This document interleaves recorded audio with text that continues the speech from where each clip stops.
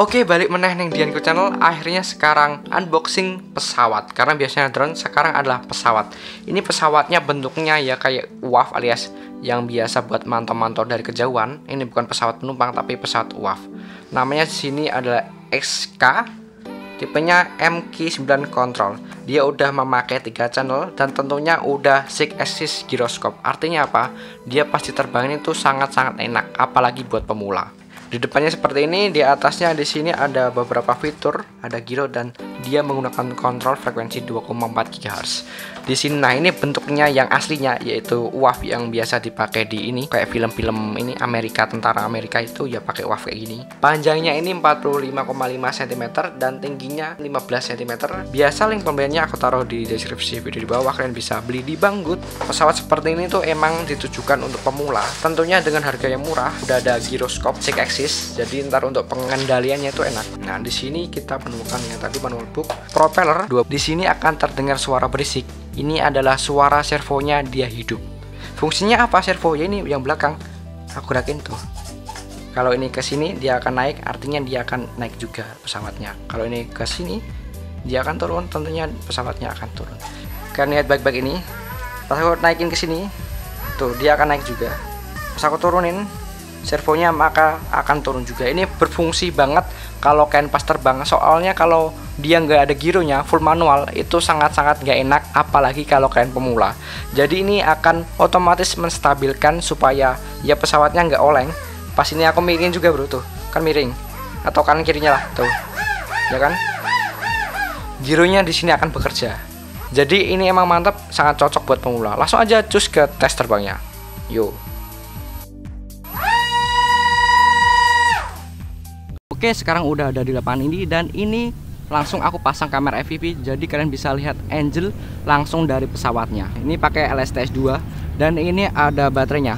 Ya ngomong-ngomong untuk pemasangan FPV sendiri itu sebenarnya ada beberapa hal penting yang harus diketahui yaitu tentang CG alias Central of Gravity. Ya jadi itu pesawat itu bener-bener harus ini seimbang antara depan dan belakang itu sentralnya sebelah sini.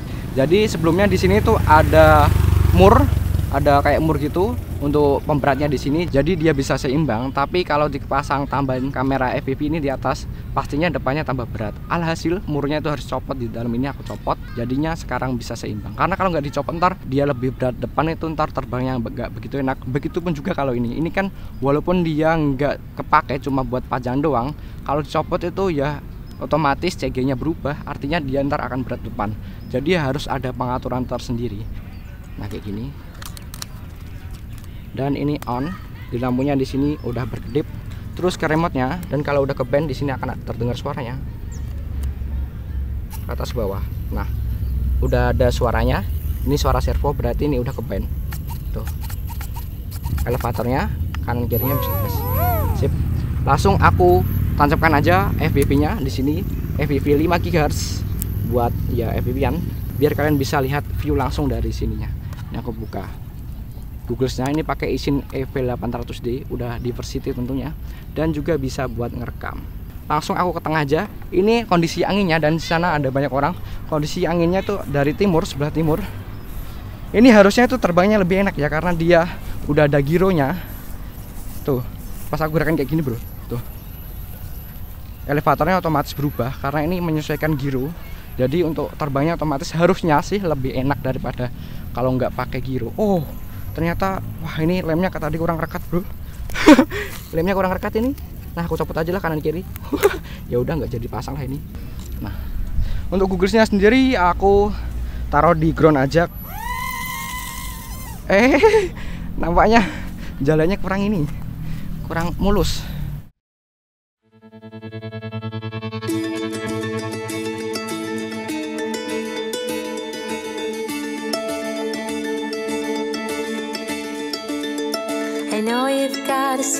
like a child, you wanna keep it. But your shiny eyes reveal the simple truth. And every time you look at me, you start to smile immediately. It's funny, you don't have to say a word. And I know you're too shy to tell me what's on your heart.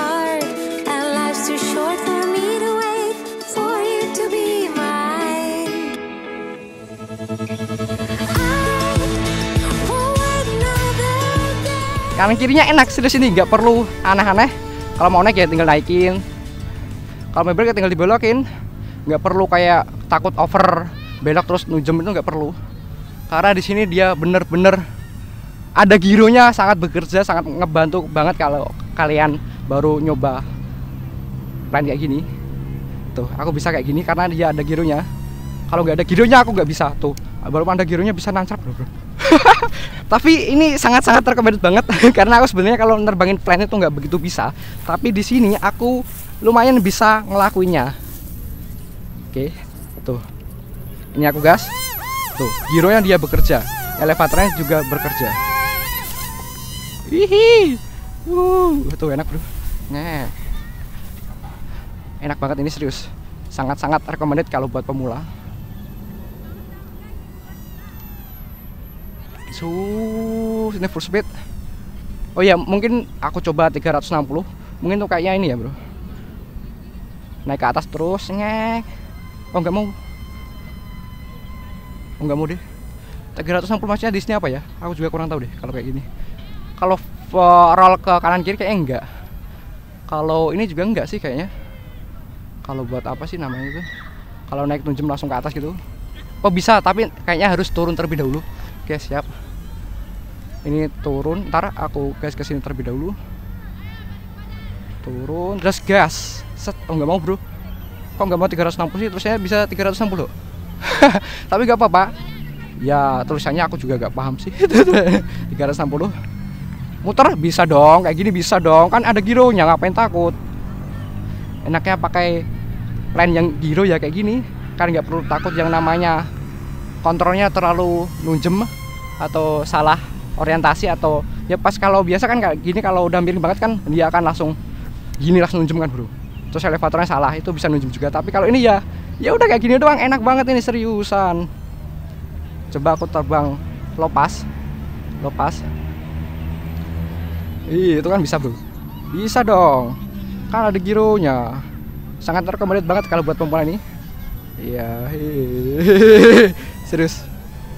Belok lagi Lopas Bisa gak? Oke agak tinggi Terus belok Mantap Dia nabrak Wih oke Ternyata dia crash bro Mantap kalau beloknya emang dia nggak begitu langsung nyet gitu kan karena dia kan cuma menggunakan ini kontrol uh, kecepatan dinamo kanan kirinya. Jadi kalau ini tambah satu channel lagi yaitu channel keempat dia mungkin bisa lebih agresif. Tapi untuk harga segini di under 1 juta ini udah sangat recommended apalagi kalau buat pemula. Oh, propellernya copot bro. Alhamdulillah masih di sini copotnya. Soalnya tadi nggak bawa propeller cadangan. Kalau nggak bawa propeller cadangan ya bisa-bisa berakhir video ini. nggak lucu kan? Nah, nah, nah, nah. Lepas. Lepas. Lepas. Lepas. Bener lepas gak sih namanya? Wih. Ngegas lagi. Hai. Aku suka masuk ke kiri terus, Bro, muternya, Bro. Coba ke kanan lah. Tapi ntar bentar dari sini. Oke. Nah, sini terus coba ke kanan. Nah, gini baru ke kanan. Set. Ini full speed terus aku lah coba. Ini ke kanan.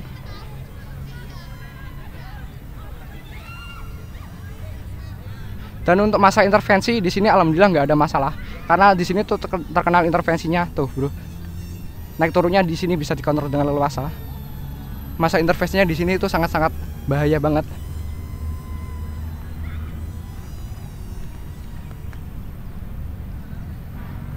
Coba landing, landing bisa nggak landing? Bentar. Eh, eh, oke bisa landing ternyata tadi pada belum siap loh.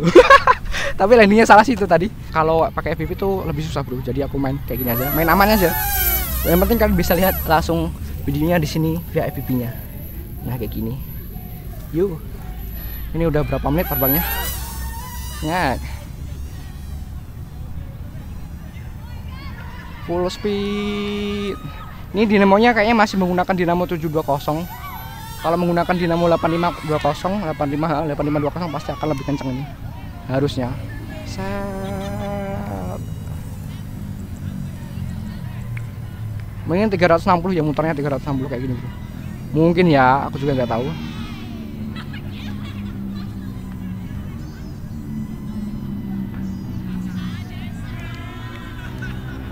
Oke, gak takut salah orientasi karena di sini Giro sangat-sangat bekerja dengan baik. Kalian nggak perlu takut. Ini glider bro, nggak aku gerakin. Nah, kalau ini baru aku gerakin lagi. Oke. Coba mendarat dari sana bisa nggak? Harusnya ini kalau channel 4 ini, wah sangat enak banget bro ini. Seriusan dah.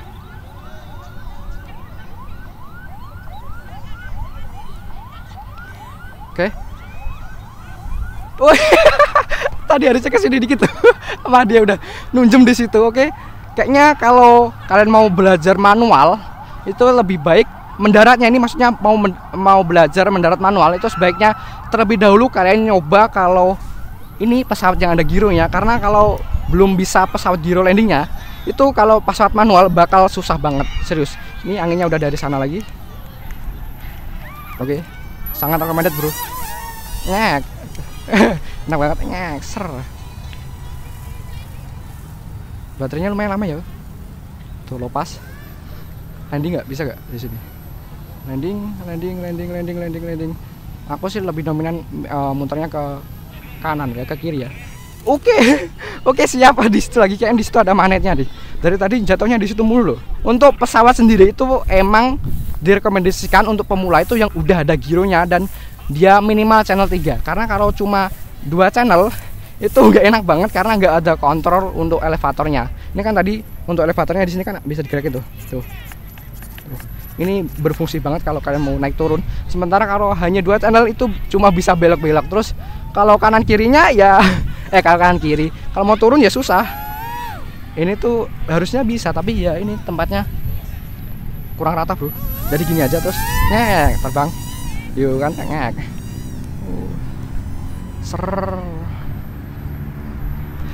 Six axis gyroscope. Kanan. Oke kanan. Oke coba aku muter kanan lah. Nah ini coba aku landing. Nah sip landing, landing, landing, landing, landing, landing, landing. Harusnya bisa lancar tapi ini masalahnya di sini kan gini. Pas ini langsung lanjut tek gini. Ya langsung kayak gitulah bro. ya udah di sini aja lah. Iniin, ini aja udah bisa terbang kok. Eh, Aku nggak nggak mau terlalu jauh karena ntar kalian kehilangan footage-nya. Nah ini coba aku untuk lepas. Oke lumayan, lagi coba lagi coba lagi, coba lagi. Enak sih kayak gini, nyoba-nyoba untuk uh, landing. Karena untuk pesawat yang beneran itu paling krusial yaitu untuk take off dan landingnya. Karena kalau udah di atas tuh dia auto pilot, pilotnya otomatis alias ya dibantu pakai mesin. Lepas lepas. Oke oke harusnya elevatornya tadi dinaikin lagi itu kan tadi bisa kayak naik turun itu fungsinya elevator kalau dua channel ya nggak bakal bisa kayak gitu bro. Langsung pasti nunjem dia.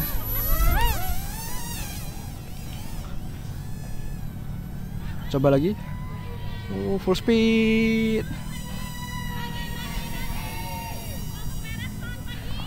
Pagi. Wih agresif bro. Coba. Coba. Nah ini. Harusnya sih oke oke mulus. Ya lumayan mulus lah. Ya semulus mulusnya ya paling gitulah bro. Aku suka. Dan baterainya di sini belum habis. Coba aku matikan rekamannya biar tadi bisa kesimpan nah langsung aku rekam lagi di sini. Mantap. SG 110A Wah, banggut, banggut. Di situ banggut memang banyak pilihan sih kalau mau beli RC atau ya segala macam RC dari plan, drone atau bahkan boot. Ada juga di situ banyak lah di situ pilihannya. Nah, coba ke kanan ke kanan ada itu ya. Jadi agak susah, Bro. Untuk masalah angin, nah ini kalau masalah angin sih dia kalau anginnya dikit itu masih bisa ditolerir. Kayak gini kan anginnya dikit itu masih bisa, tapi kalau anginnya udah kencang itu agak kayaknya agak susah.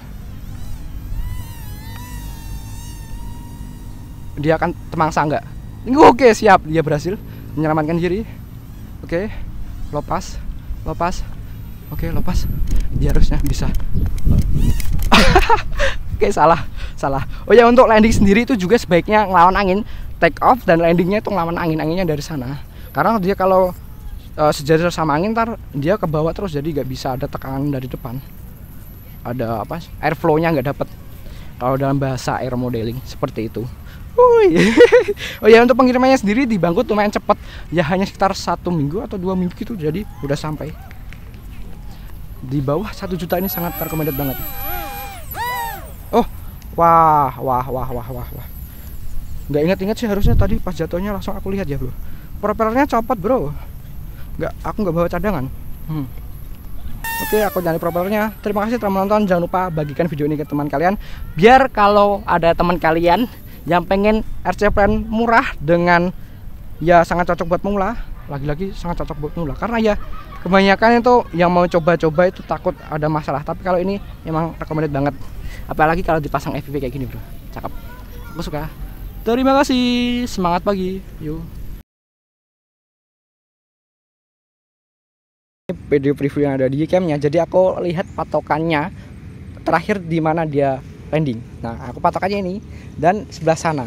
Lalu dicari sebelah sini itu harusnya ketemu akan di sana. Tadi itu landingnya sebelah sini. Dan iya benar.